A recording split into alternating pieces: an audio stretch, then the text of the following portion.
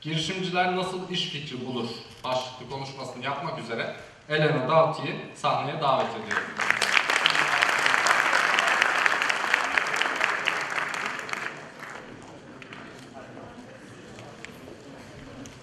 The Turkish I have learned in four years, uh, but I wanted to say hi to everybody in your own language. Türkçe var burada ama en azından Türkçemle hepinize bir merhaba demek istedim. I'm very excited to be here, um, and I thank the whole university and the city of Düzce for inviting us here. Hı hı. Ee, burada olmak için çok heyecanlıyım e, ve Düzce'yi, üniversitenizi gördüm. Bundan da kıvanç duyuyorum. So let me take you quickly a few years back when I was an elementary school girl. Um, I actually invented an apple cutting machine. Uh, I was showing it to the adults, uh, my parents and their friends, and I was very proud of it. And they were actually patting on my shoulder, saying, "Yes, well done." Ben daha küçük bir ilkokul çocuğuyken bir gün aklıma bir fikir geldi ve elma e, konserveleme fikri aklıma geldi. Bununla ilgili bir makine yaptım kendime. E, bunu gördüğüm herkese gösteriyordum. Herkes de omzuma dokunup ah ne güzel bir fikir falan deyip duruyordu. Tabii ailem de çok benimle gurur duyuyordu. Onlar da kendi arkadaşlarına gösteriyordu. Bak bizim kızımız neler yaptı, neler icat etti gibilerinden. So, because this is about entrepreneurship and how to come up with innovative ideas, I wanted to show it to you. Uh, I didn't get the original uh, sketch I made at the time. You know, my mother is a German practical woman. She threw it away ages ago, but I had it redrawn. Ee, size şimdi bunu göstermek isterdim ama e, o küçükken yaptığım orijinal e, makineyi bulamadım çünkü benim annem Alman bir bayan. E, sırf evde yeni şeylere yer açılsın diye onu atmıştır biliyorum. Hiç sormadım bile kendisine acaba bulabilir miyim diye. This is the machine. So you have two conveyor belts and you have two chicken with a piece of corn in front of them. And as they try to get the corn, they run and move the conveyor belts. İşte gördüğünüz makine bu. İki tane tavuk var önde. Ee, onlar koştukça buradaki makina devir daim oluyor ve sürekli hareket ediyor. Bulduğum icat buydu. Eh, There are apples and the open metal cans moving on the conveyor belt. And there is a third chicken with a piece of corn on the head. And as it jumps to get the piece of corn, it closes the metal cans. Ee, gördüğünüz gibi mısırlar da yerleştirdim oraya. Bu tavuklar mısırları kapmak için bir koşuşturma içindeler. Ee, sonra bir tane de üçüncü tavuk görüyorsunuz burada arkada. Onun mısırı birazcık daha yukarıda gördüğünüz gibi. O mısırı almak için zıpladığında da elmalar kutunun içine giriyordu ya. Böylece onların zıplamasından kutunun üstündeki kapak kapanıyordu. Benim icadım buydu. Now, if I look at it with 20 years of professional experience, I think it may not have worked, but it still was the dream of an elementary school girl. Bir 20 sene öncesine baktığımızda tabii ki bazı sıkıntılar olabilir, çalışmayabilir ama yine de bu ilkokul çağındaki bir çocuğun e, bir icat e, hayaliydi. I then, no wonder, decided to become an engineer, did my master in engineering. Did my E, master. ben e, master'ımı mühendislik üzerine yaptım çünkü mühendislikle ilgileniyordum. Worked for a couple of consulting firms, E, birkaç tane danışmanlık şirketinde çalıştım. did my MBA, ve sonra da yüksek lisansımı yaptım. And Ee, somewhere I lost my capability to dream. ve bir noktada da hayal etme yeteneğimi kaybettim.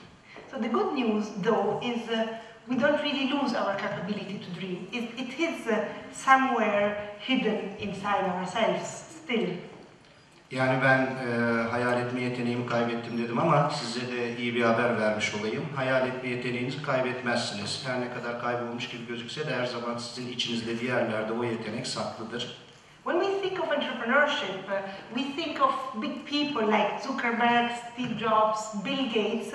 They are fantastic role models, uh, but you know they are also a bit scary because it feels like, oh my God, can I possibly become like them? Girişimcilik dediğimizde genellikle aklımıza Mark Zuckerberg ve Steve Jobs gibi kişiler gelirler. Çünkü onlar bütün girişimci ruhlar için birer e, rol modellerdir biliyorsunuz. Aklımıza bu iki isim geldiğinde birazcık da ürkeriz ama çünkü malum onlar o kadar büyük yerlere geldiler ki hep düşünürüz. Acaba ben de bir gün onlar gibi olabilir miyim? Böyle bir ihtimalim var mı diye.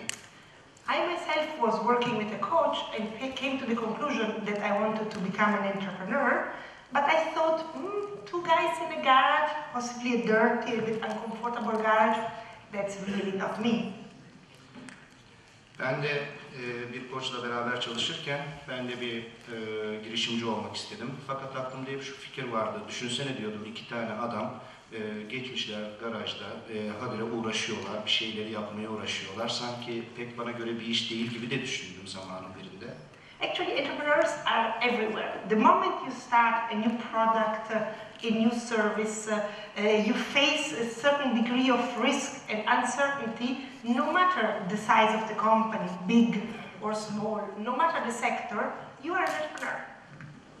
Girişimciler her yerde. Bir şey yapmaya başladığınız an her yerde bir e, girişimci bulabilirsiniz ve her zaman da riskler vardır. Yani sizin şirketinizin boyutu ne olursa olsun, büyük bir şirket olsun, küçük bir şirket olsun, her zaman için risklerle karşılaşacaksınızdır. Now, because I see a lot of uh, young people in the audience, I think that many of you are here because they want to be entrepreneurs.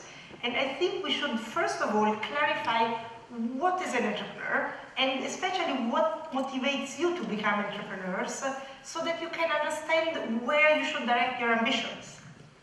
Yani burada birçok genç insan görüyorum. Burada olmanızın sebebi girişimci olmak istiyorsunuz da bu yüzden. Ee, peki girişimci olmak istiyoruz. Bunun için bazı e, aydınlatmamız gereken noktalar var ve şimdi bu aydınlatmamız gereken noktalar üzerinde değineceğiz. There are actually three types of entrepreneurs. The first one I call lifestyle entrepreneur. Uh, this is somebody who has a passion, a hobby, but is more interested to the quality of life. So you open your surf school on the beach. Every day you give lessons from 9 to 11. Üç tür girişimci var dedik. Bu üç tür girişimciden birincisine ben e, hayat tarzı girişimcileri derim. Hayat tarzı girişimcileri çok fazla tutkuludurlar. E, bir hobileri vardır ve kendileri bu hobiyi yapmak isterler. Mesela her gün sabah saat 9'dan 11'e kadar açık olan bir sörf okulu kurmak isterler. Bu hayat tarzı girişimcileri bu şekildedir. That is an entrepreneur. You're facing uncertainty. Will uh, your surf school work? Uh, what are, are you picking the right opening hours? Uh, is your pricing correct? Uh, although it is a small scale, although you aim at quality of life and free time, and you aim at going for your passion, you're an entrepreneur.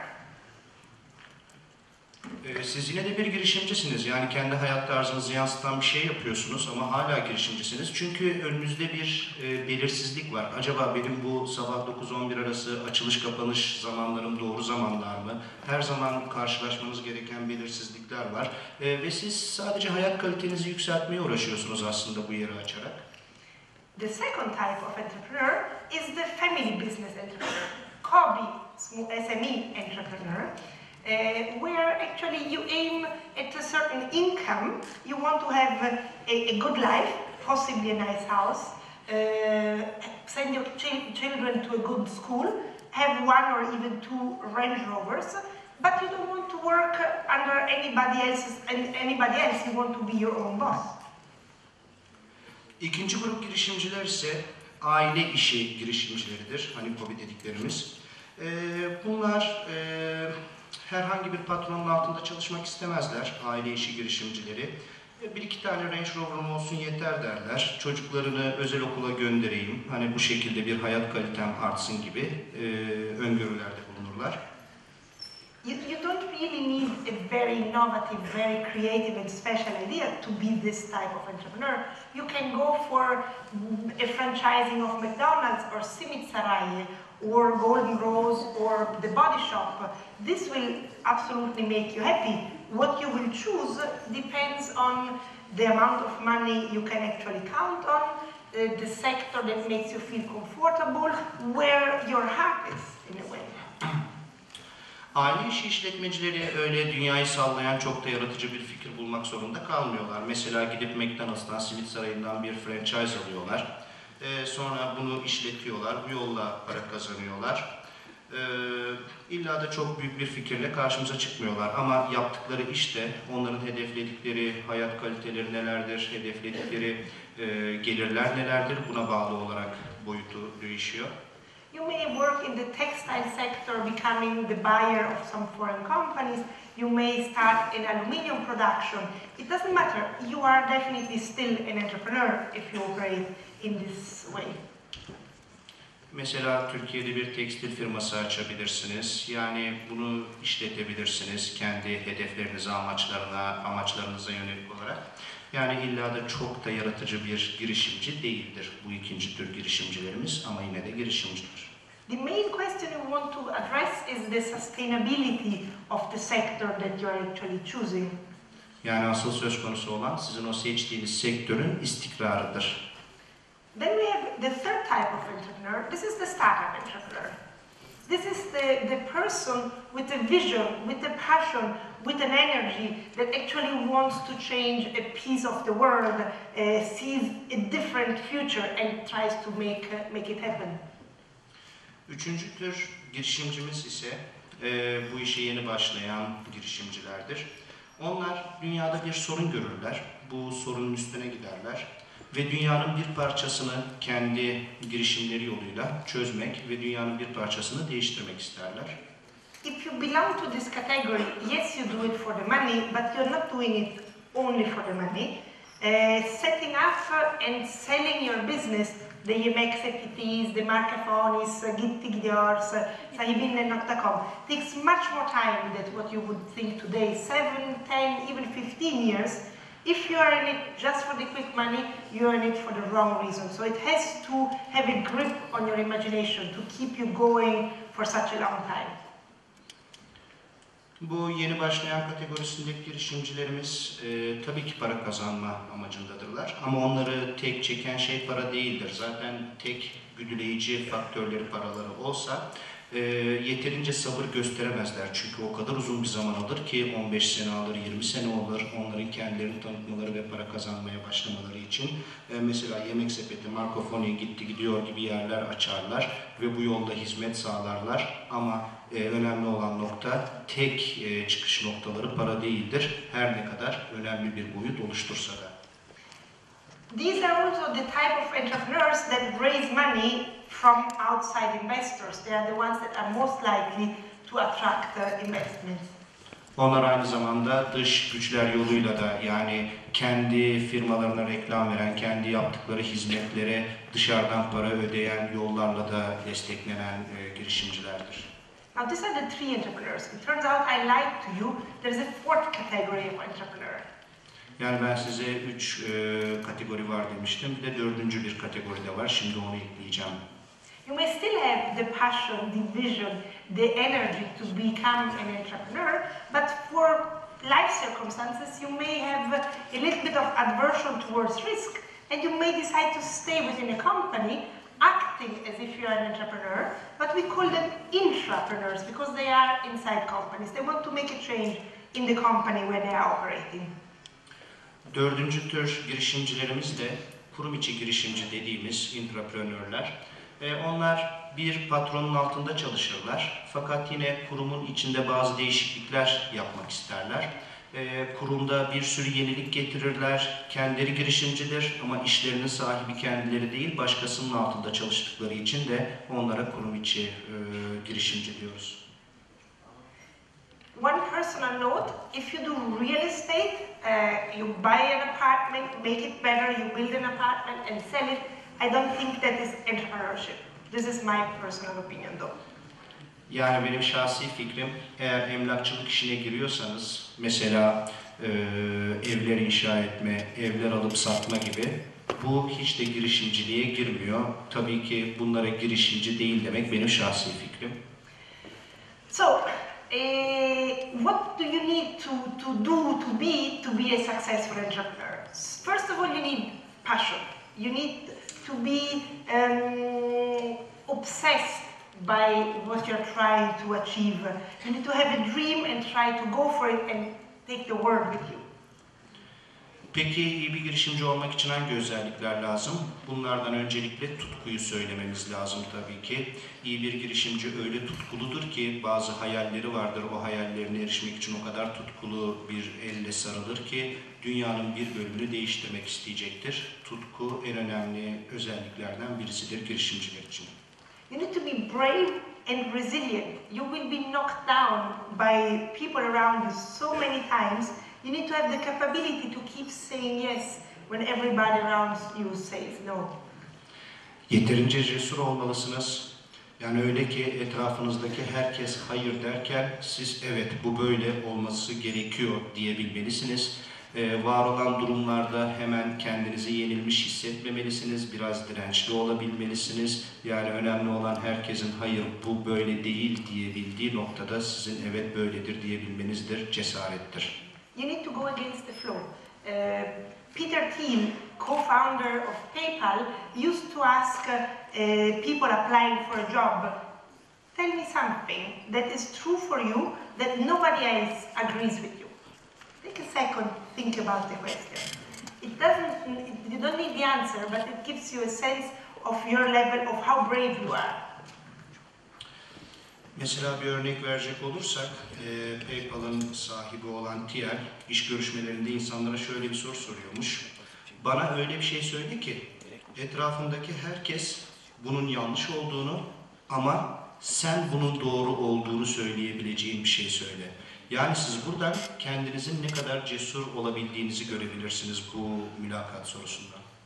You need to be capable to do some daydreaming. You, you, you, you shower, you drive your car, and you imagine the, the world you want it to become. You see what obstacles may come, how you will overcome them, uh, what problems you may face, what solutions you will find to them. Araba sürerken bile sürekli düşünmelisiniz. İyi bir hayal kuran kişi olmalısınız. Araba sürerken mesela düşünmelisiniz ben ne gibi sorunlarla karşılaşabilirim, bu sorunlara ne gibi bir çözümler bulabilirim. Sürekli aklınızda bu hayalleriniz, bu düşünceleriniz olmalıdır. You need to be able to attract and inspire a great team of people. Guy Kawasaki used to say, if you're an A person, you will attract A plus people. If you're a B person, you attract a C person, who will attract a D person, and it goes down until Z level. Mesela iyi bir e, takım yaratmanız gerekiyor.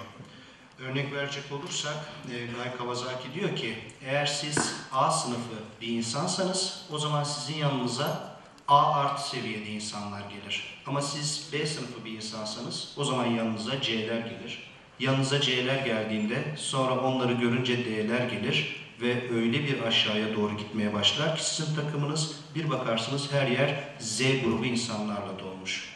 You need to be willing and ready to make mistakes. Mistakes, I know, are a complicated thing in your culture.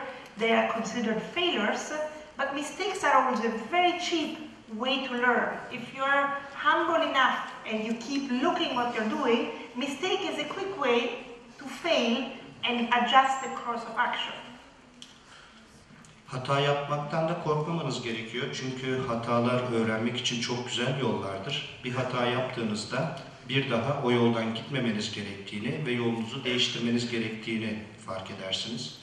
You also need to be listening to advice. I put a question mark because a lot of the successful entrepreneurs I personally came across are quite opinionated. They don't really listen to advice.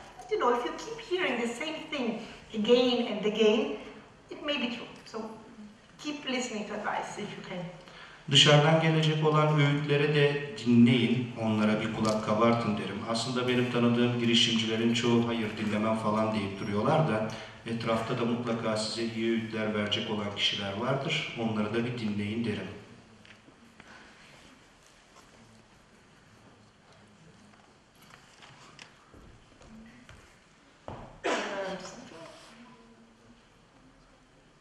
Okay. So, um, what do these, thank you by the way. Uh, what do these have in common apart from the fact that they are all blue? Uh, what, what do these have in common Yeah, apart bunlar- from the fact that they are all blue? Yani bunlar maviler tamam görüyoruz da e, bunların renklerinin mavi olma dışında ne gibi bir ortak yanı var sizce? I know you know all of them. There are three examples of three startups where the entrepreneur started in one direction and, as we say in, in the startup world, pivoted, so changed totally the course of action. He, he did, they made a mistake or they did something wrong and totally adjusted it. Biliyorum ki e, bunların üçünü de çok iyi biliyorsunuz çünkü gayet bilinen şeyler. E, bunların kurulma öyküsü şöyledir. Bunlar e, kurulmaya başladı bu gösterdiğim üç e, logo. Daha sonrasında bazı hatalar fark edildi bunların kuruluşunda ve hatalar yüzünden birazcık bizim eylem planımızda değişiklikler yapmamız gerekiyor diye düşündüler ve kurulurken var olan eylem planlarını neredeyse tamamen değiştirip apayrı bir yöne çekerek bu muhteşem yerleri kurdular. Kim Flickr biliyor? Uh, Flickr is a, is a big, Flickr is a picture sharing platform. It started as a video game and they decided that one of the side features was so interesting that they converted it into a picture sharing platform. Flickr biliyorsunuz ki e, bir fotoğraf paylaşma e, sitesi. Orada bir fotoğraf paylaşılıyor. Sonra diyorlar ki yok burada çoklu fotoğraflar da paylaşılabilir ve bu hale getiriyorlar. Tekrar soracağım. Kim Twitter biliyor? Twitter was actually started by one of a few people. There was a gentleman called Jack Dorsey. He got co-founder of Twitter. He received one million dollar funding from an angel investor, but he received it. He wanted to start a music platform. After spending 200 million, uh, he discovered that uh, iTunes was about to be launched uh, by Steve Jobs. So he went to return the money to the angel investor, and the angel investor said, No, I did not invest in your idea, I invested in you. Keep the money, do something else. And that's how he did Twitter. Mesela Twitter'ın kuruluşunu da bir düşünürsek, e, müzik amaçlı kurulmaya başladığında, daha sonra bir baktık ki Steve Jobs onların önüne geçiyor ve ailesinden de 1 milyon falan para vardı. Birileri ona yatırım yapmıştı. Sonra Twitter'ı kuran kişi de bir fikrinde değişikliğe gitmek istedi. E, kendisine yatırım yapan kişiye sordu, ben bu fikirde bir değişiklik yapabilir miyim diye. E, yatırım sahibi de dedi ki, ben zaten senin fikrine değil, sana yaptım bu yatırımı. Ne istiyorsan git yap ve böylece Twitter günümüze gelmiş oldu. The truth is, when we think about new ideas, we look at the world in terms of what we already know. Biz yeni bir fikir düşündüğümüzde aslında dünyaya zaten biliyor olduğumuz şekilde bakmaya başlarız. I will quickly walk you through again an example about ice uh, designed by Guy Kawasaki, which I think will make this point very clearly. Şimdi size bir örnek daha vermek istiyorum. Guy, e, Guy Kawasaki tarafından kurulan bir ICE var ve o örnekte de güzel şeyler göreceksiniz. So we have, oh sorry, this is, uh, we have ice 1.0, ice harvesting.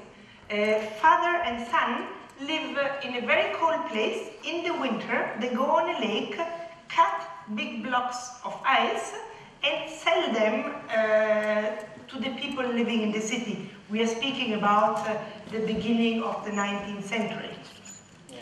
19. yüzyılın başlarından e, bahsedeceğim şimdi. ICE 1.0 diye bir şey kuruluyor.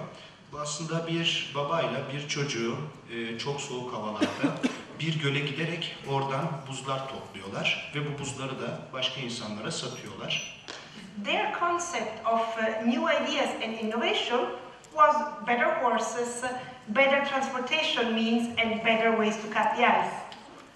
Onların ihtiyaç duydukları girişimcilik fikri burada tahmin edersiniz ki daha iyi atlar.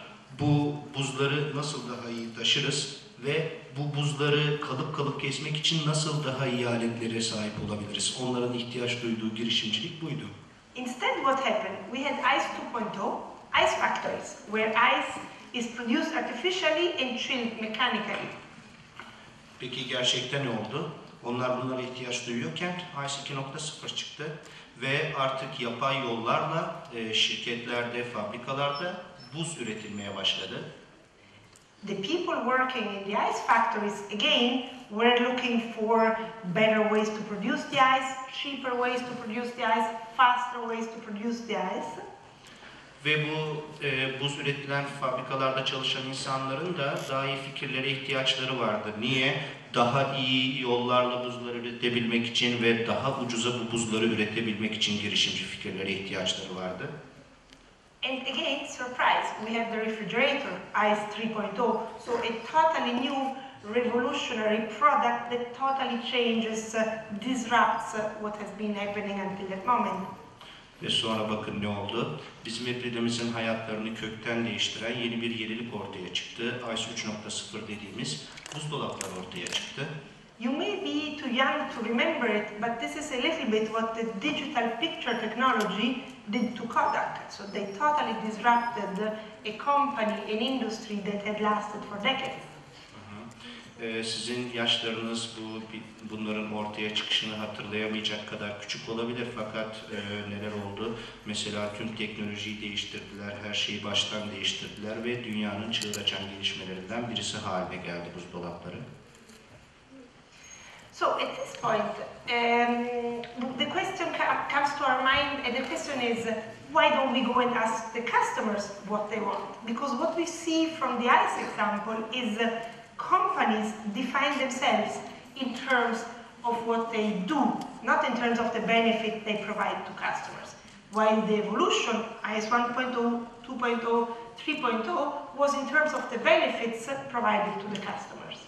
Genelde şirketlere kendilerini tanımlamalarını istesek onlar ne yaptıklarıyla kendilerini tanımlarlar. Yani bizlere, müşterilere e, ne gibi hizmetler sundukları, bize ne verdikleriyle değil de kendilerinin ne yaptığıyla tanımlarlar. Ama bakın ICE e, kendini insanlara ne sunduğuyla tanımladı.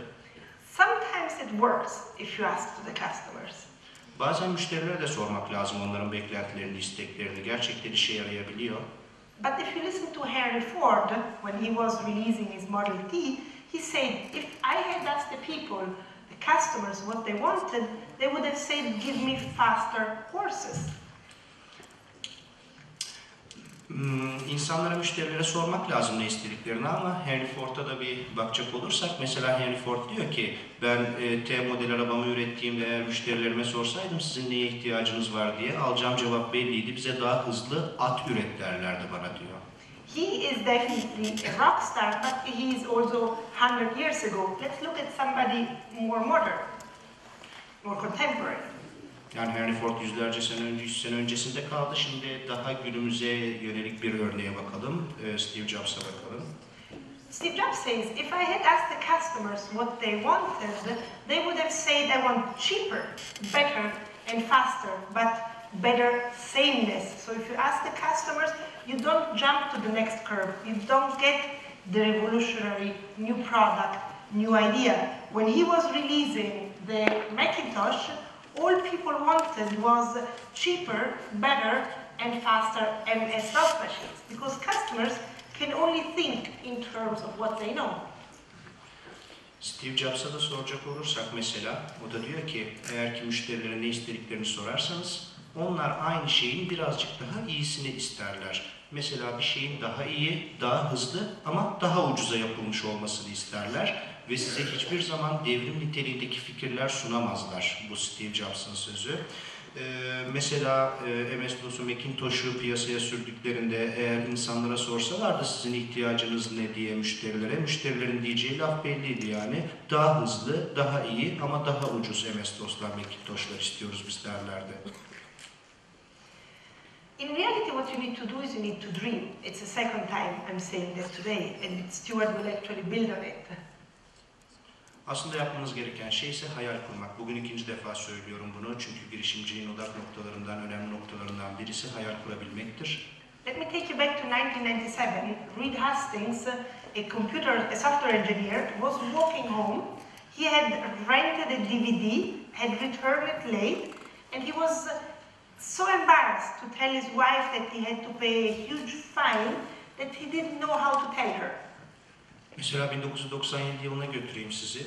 O zamanlar bir yazılım mühendisi olan Reed Hastings e, bir DVD kiralamış. Eskiden DVD kiralayabileceğimiz dükkanlar vardı bizim.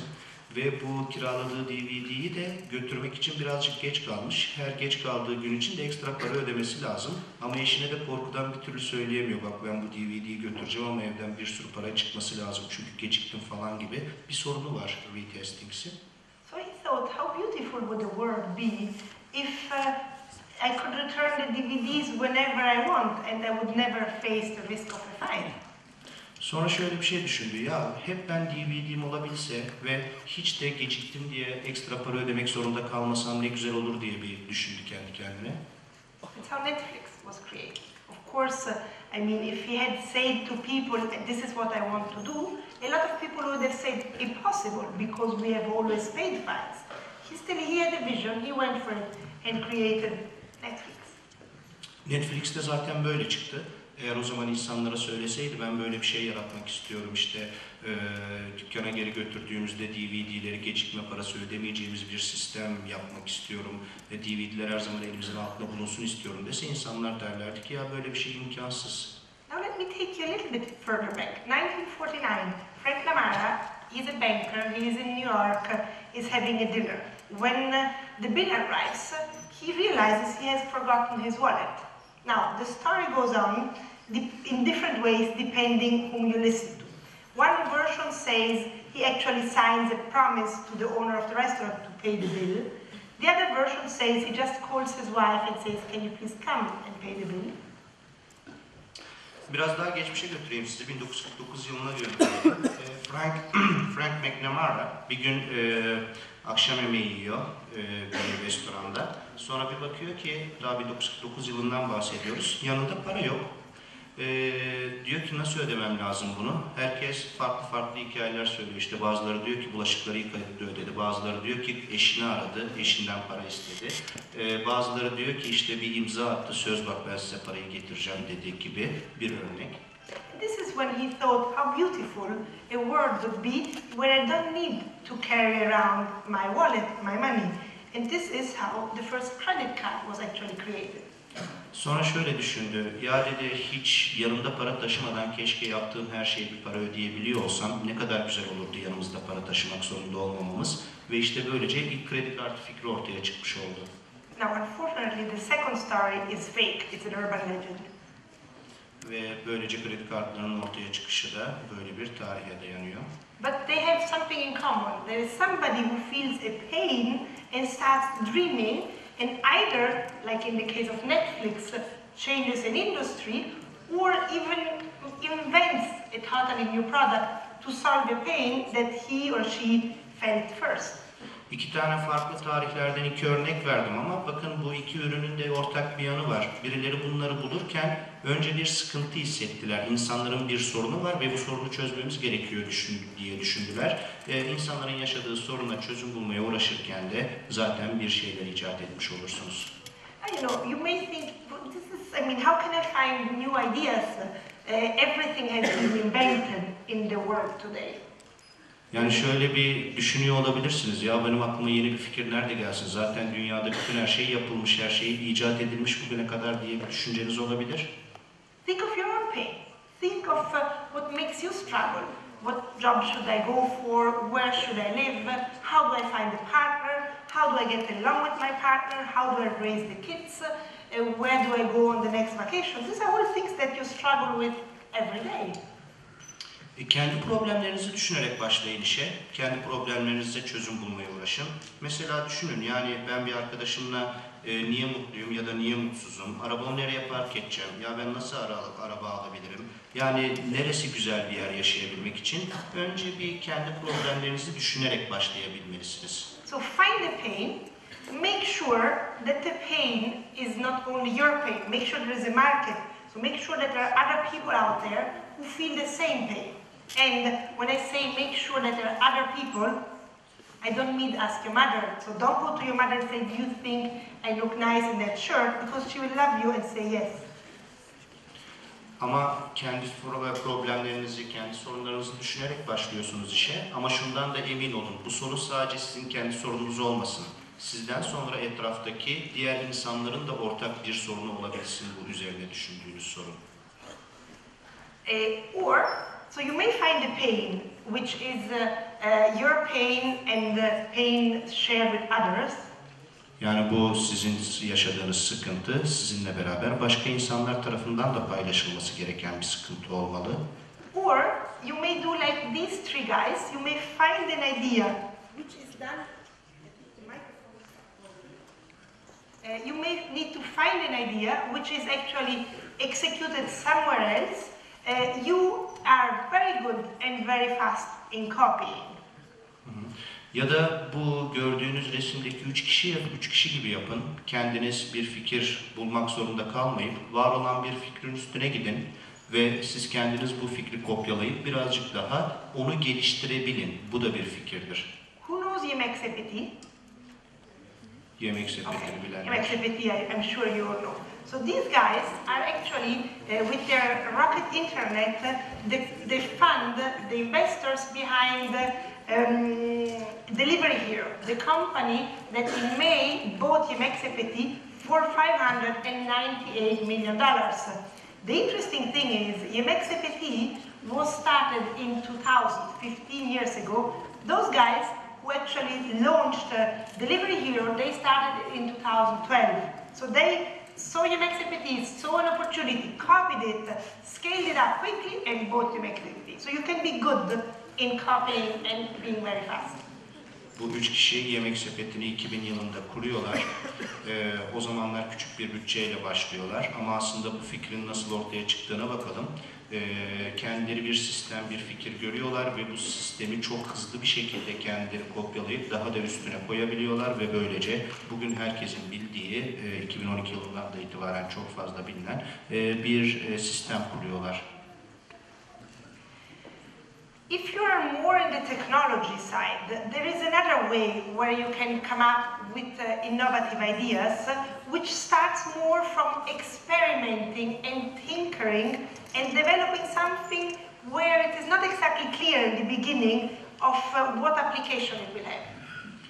Eğer teknolojiyle ilgileniyorsanız zaten bu yaratıcı fikirlere ya da birinin fikirlerini daha da ileriye götürme gibi olgulara gayet aşinasınızdır ve üzerine uzun süre düşünme yaptıktan sonra bir şeyde e, yenilikler yapabilirsiniz. The laser was developed more out of scientific curiosity, where uh, physicists would try to reduce the length of the waves. They had moved from radio meters to radar centimeters and millimeters, and they were trying to go to the next uh, level of waves. And very few thought that there would be a practical application. Only way after they had developed it, they discovered all the possible applications uh, that we have in today's world. Lazerin kuruluşuna bir bakalım. Ee, birkaç fizikçi kısa dalga boyutlarını e, üzerine denk, e, denemeler yapmak istiyorlar, deneyler yapmak istiyorlar. Sonra bu kısa dalga boylarıyla yaptıkları denemeler sonucunda bir adım öne gitmesi, bir adım daha ileri gitmesi gerektiğini düşünüyorlar ve böylece kızılötesi ışınlar, kızılötesi dalgalar fikrine e, ulaşıyorlar. Başlarda pek emin değiller acaba bu kızılötesi fikri tutacak mıdır falan diye ve daha sonra endüstriyel uygulamalarına baktıklarında evet diyorlar bu tutacaktır. The same applies to uh, the case of Sputnik. Sputnik was a satellite uh, launched by the Russians in 1957. Diğer bir örnek olarak da 4 Ekim 1957'de havaya fırlatılan bir e, uydu olan Sputnik'i vermem lazım. two very young researchers in Maryland in an applied physics lab talking about it decided that they wanted to record the sound of the satellite out there in space. Maryland'de iki genç insan oturuyorken, muhabbet ediyorken şöyle düşünüyorlar. Gökyüzüne bir tane Sputnik diye bir e, vikik fırlatıldı. Biz bunun seslerini kayıt etmemiz lazım diye kendi aralarında günlük bir konuşma yapıyorlar. Playing with it, applying some basic math, they actually started mapping the speed of the satellite around the world. Bildiğimiz temel matematik kurallarını falan kullanarak bu uzay mekiğinin dünya etrafında çizdiği yörüngeyi bir e, üstünde oynamalar yapalım. Yani bir kaydedelim bakalım, kendimiz görelim istiyorlar. They tracked, they, they mapped the trajectory of the satellite. Daha sonra onlar e, uydunun gidiş yönünü fark ettiler, onu buldular. Then their boss called them and said, "Can you please come to my office?" Sonra Ee, patronları aradı onları, ikisini, o iki genci. Ya siz benim bir ofise gelsenize bakalım He said, dedi. "You guys, in your free time, actually listening to this satellite, have been able to track the trajectory around the Earth. Would you be able to do it the other way around?" Dedi ki ya gençler siz e, uzay mekiği fırlatılmış, dünya etrafında geziyorken onun bilinmeyen bir yönünü bile bulabildiniz. Habire onun seslerini dinleyip duruyorsunuz. Peki tam tersinde yapabilir misiniz? And they go, "Hmm, probably it is even easier. Yeah, I think we can do that."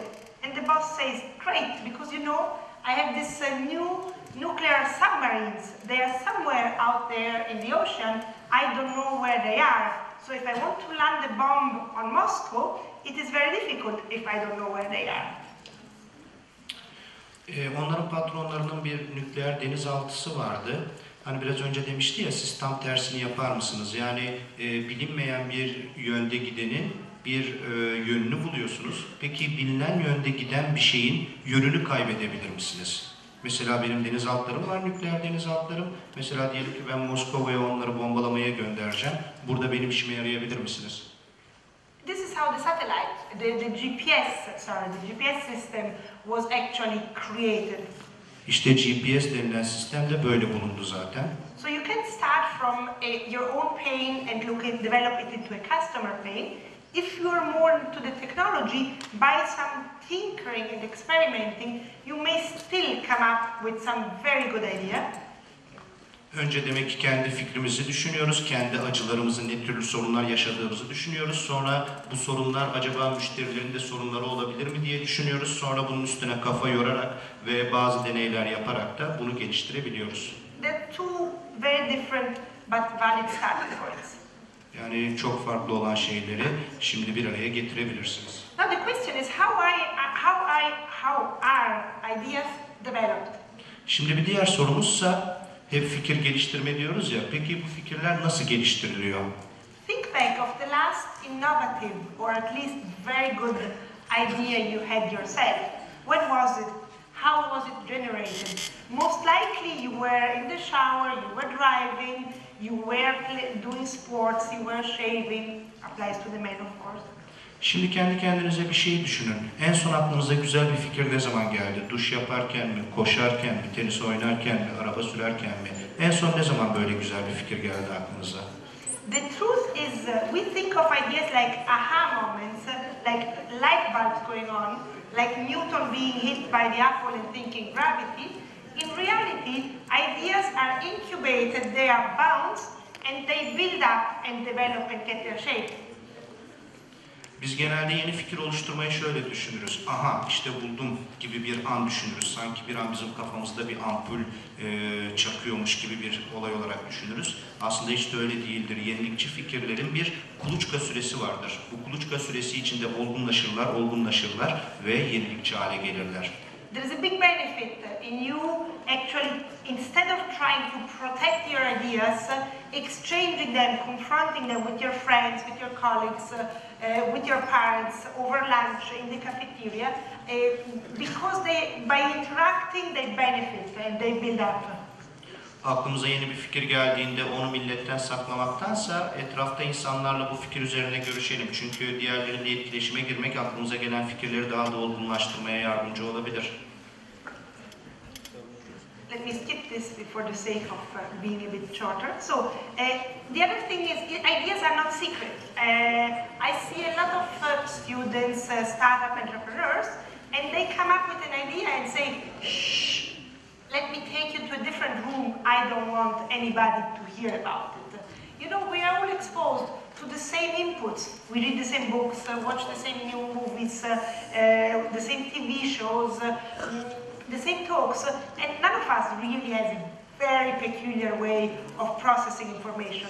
So no wonder that the same ideas actually pop up in different places in the world, more or less at the same time. It's not about protecting ideas, it is about uh, having the passion to go for it and executing them well.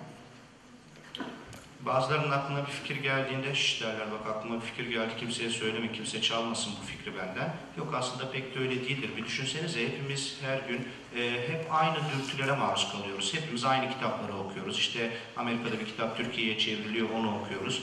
E, madem biz hep aynı şeylere maruz kalıyoruz, bizim aklımıza gelen bir şey 6 ay içinde ya da 6 ay önce başka birisinin aklına gelmiş olabilir ya da dünyanın farklı yerlerinde aynı kişilerin de aklına gelmiş olabilir. Yani sonuçta hiçbirimizin beyni tek başına özgü bir beyin değil. Bizim aklımıza gelen şeyler, bizim maruz kaldığımız olaylar yüzünden başkalarının da aklına gelmiş olabilir. So, um, because we are thinking of uh, how we should get our ideas, I would like you to do an exercise with me. Do you all have a piece of paper and a pen? Ee, şimdi e, fikirler nasıl bir araya gelir diye bugün şu ana kadar hep konuştuk. Şimdi sizle bir uygulama yapmak istiyorum. Elinizde bir kağıt ve kalem var mı herkesin? Okay. So take the pen in your dominant hand.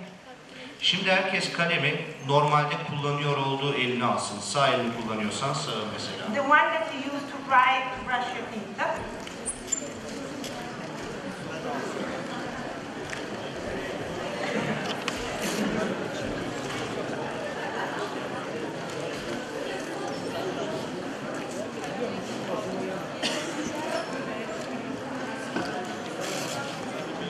So you. Şimdi size bir soru sormak istiyorum. Please write the answer on the paper using your dominant hand. And the question is, bir hayvan olsaydın ne olurdun? Şimdi bir hayvan olsaydın ne olurdun sorusunu normalde yazı yazmak için kullandığınız elinizle e, kağıda yazmanızı istiyorum herkesten cevabı. Please write the answer. Lütfen kullandığınız elle, normalde yazdığınız elle yazalım.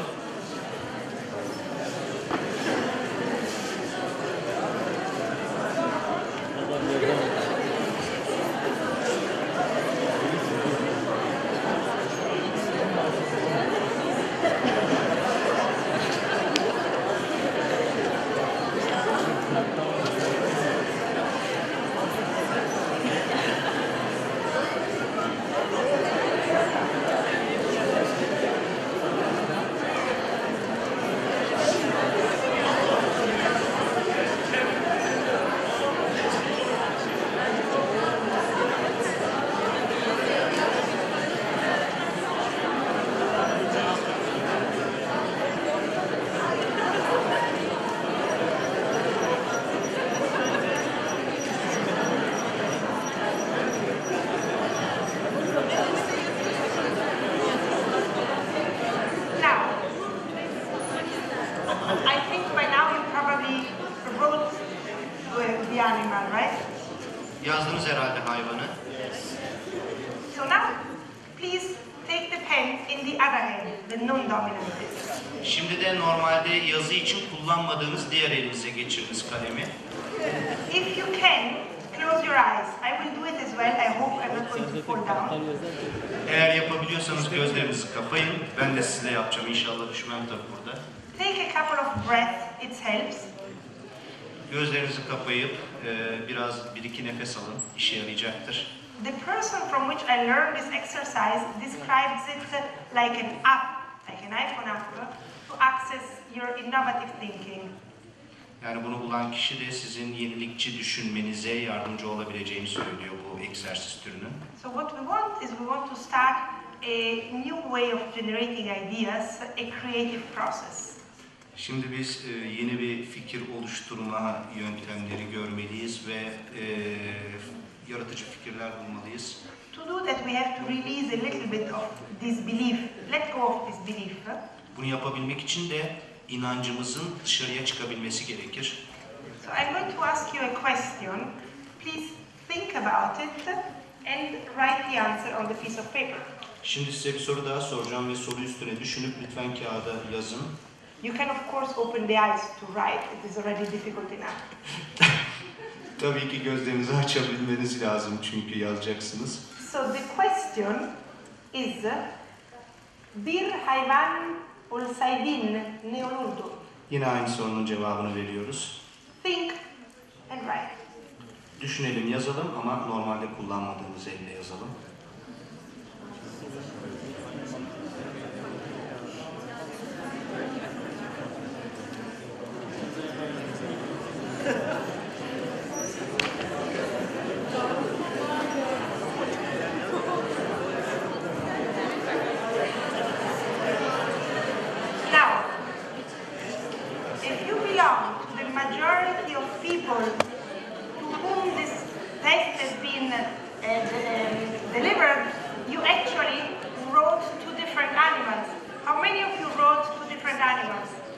Siz de eğer bu testi yapan birçok insan gibiyseniz, yüzde sekseni gibiyseniz e, muhtemelen e, sağ ve sol elle farklı hayvan isimleri yazdınız. Kaç taneniz farklı hayvan isimleri yazdı?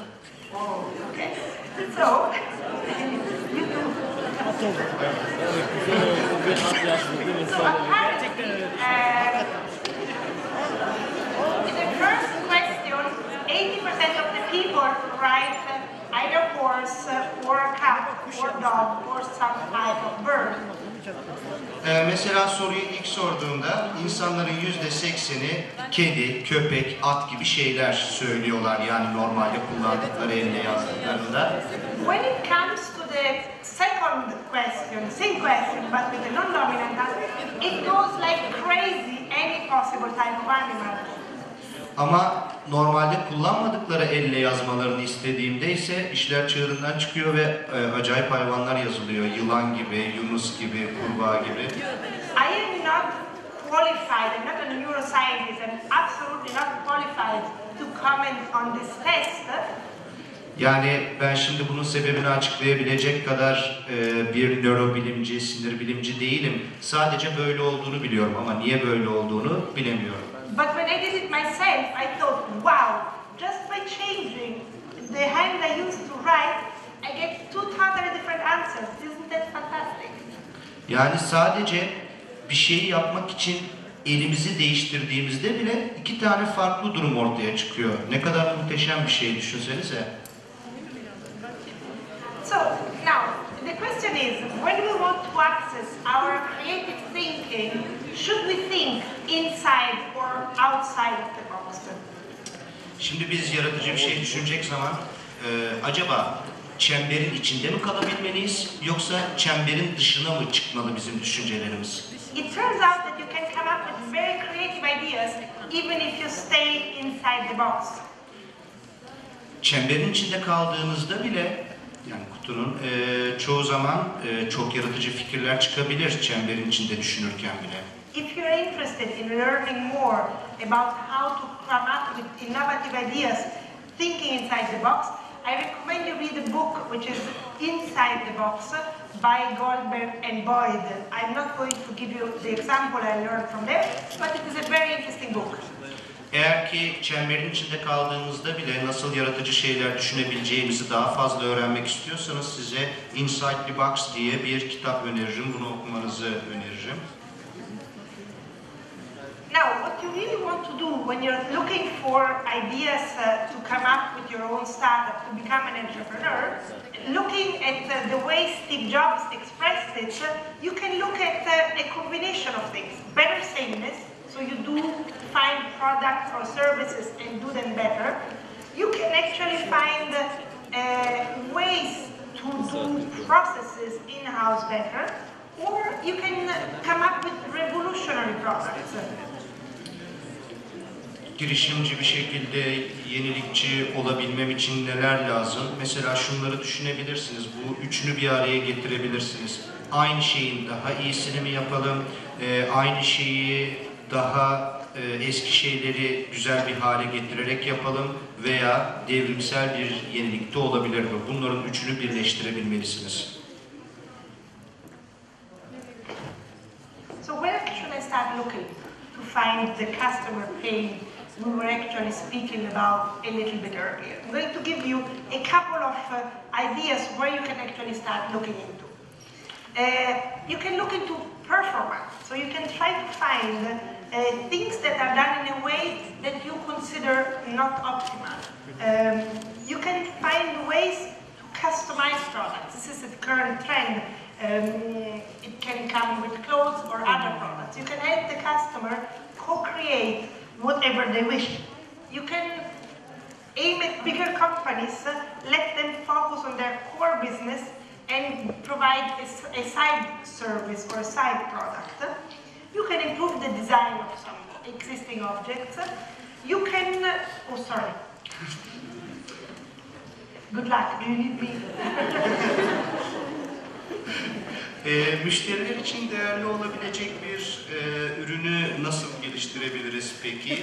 Mesela e, birkaç tane boyutumuz var. Boyutlar, boyutlardan bir tanesi performans boyutu. Yani aynı şeyin daha iyisini yapabilme. Sadece var olan bir hizmeti ya da ürünü geliştirmiş olursunuz. Böylece e, var olanın daha iyisini yapmış olursunuz. Diğeri ise günümüzde de çok kullanılan kişiye özel tasarımdır. Yani her müşterinin ihtiyacına özel, sadece ona özgü bir şey tasarlayabilme. Uh, you can improve, as I said, the design of products. Think of uh, what uh, uh, the Apple computer did to the computer industry.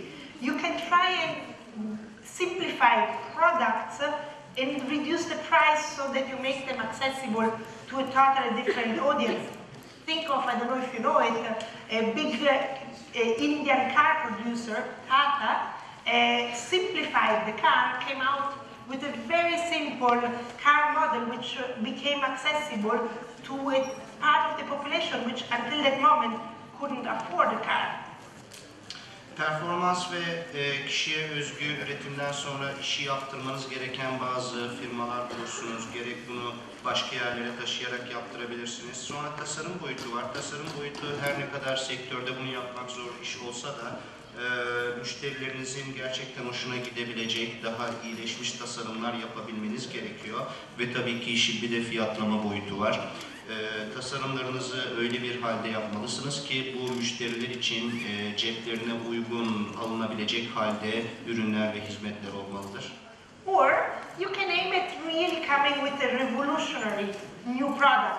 Think of the example of the credit card. It was something that didn't exist and was created from uh, nothing, out of nothing.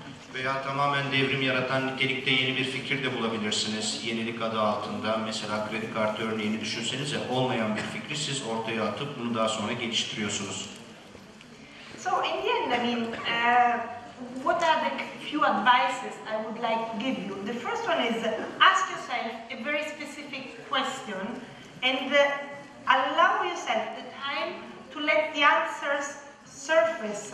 Uh, don't be too judgmental of your ideas too early. Don't, don't judge them, don't dismiss them too early. Think of the Netflix guy. If he had thought, uh, is, does this make sense too early on, he would have probably given up on the idea. It, it would have, he would have never created Netflix. Aklınıza bir fikir geldiğinde hemen bu fikir iyi mi kötü mü diye yargılayıcı bir tavır içine girmeyin. Önce soruna çözümlerin birazcık beyninize yüzeysel olarak çıkmasına izin verin. Sonra bu fikirler beyninize çıktıktan sonra bir etrafa bakın, bunu geliştirmeye uğraşın. Yani fikri bulur bulmaz hemen ha bu iyi bir fikirmiş, ha bu kötü bir fikirmiş diye kendi kendinize sakın bu yargıya hemen girişmeyin. Expose yourself to new things. Look out of the sector. Uh, you may start playing a music instrument. You may get inspiration from the way ants uh, move breadcrumbs or build their houses. Ee, kendinizi yeni şeylere açık tutun. Sektörün dışından da fikirler elde etmeye uğraşın. Nasıl ki sektörden fikirler elde edebiliyorsanız Çünkü farklı sektörlerde de var olan şeyleri daha da iyileştirebilecek şekilde fikirler elde edebilirsiniz. Take notes. Constantly make sure that your ideas are written down, you will forget them. The moment you start bouncing ideas, you may lose track of them if you don't write them down. Aklınıza bir fikir geldiğinde, bir sorun ve bu soruna çözüm geldiğinizde hemen not alın. Çünkü zaman içinde bir sürü fikir aklınıza gelip geçtiği için unutabiliyorsunuz. Not almak çok önemli bu durumda.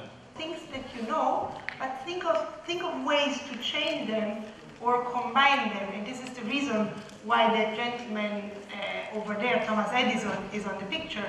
He came up with his main innovations combining existing objects. When he invited, invented the, the, the, the movie um, camera, he actually had pictures and had uh, a moving device. So he combined them and came up with one of his biggest inventions.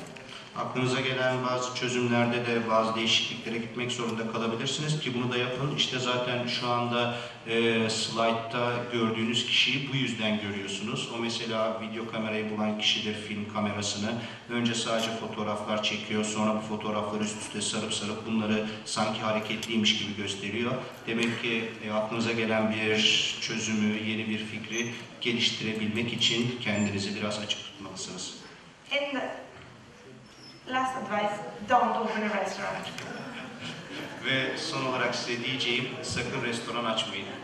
It is one of the most competitive sectors in the world, and especially in Turkey. The mortality rate is extremely high. Uh, after uh, 10 years, uh, 70% of the restaurants are out of business. Mesela Türkiye'de özellikle restoran sektöründe, yeme sektöründe çok fazla rekabet var. Açılıyorlar, işte işler tam gidecek zaman, yoluna gidecek zaman %70'i anında kapanıveriyor. Çok rekabete dayalı bir alan çünkü. It happened to all of us that we were sitting in some restaurants thinking, oh, I could do this so much better. I'm sure you all did. Mesela restoranda otururken hiç düşünmediniz mi? Ya bu restoran benim olsa yemekler şöyle daha güzel yaptırırım, işte çalışanları şöyle daha güzel çalıştırırım diye. Kesin yapmışsınızdır. If you have that thought and you have the temptation to open a restaurant, please read the Kitchen Confidential by Anthony Bourdain. Thanks God it is 320 pages. It will keep you busy for a while. Once you finish it, read it again. Eğer ki aklınıza böyle bir fikir geliyorsa bu restoran bende olacak bak neler yaparım burada falan gibilerinden o zaman size bir tavsiyem var. Anthony Bourdain'ın Kitchen Confidential kitabını okuyun. Zaten 320 sayfa. Onu okurken yeterince meşgul olup belki de fikir aklınızdan uçar gider böylece. And, you know, as I'm going to hand over uh, to Stuart, I leave you with a last thought. I wonder what would have happened to my chicken machine if I had fought for it. Şimdi ben e, sahneyi diğer konuşmacıya bırakmadan önce merak ediyorum acaba e, benim de makinem böyle olur muydu diye. Acaba bugün bu benim olur muydu diye.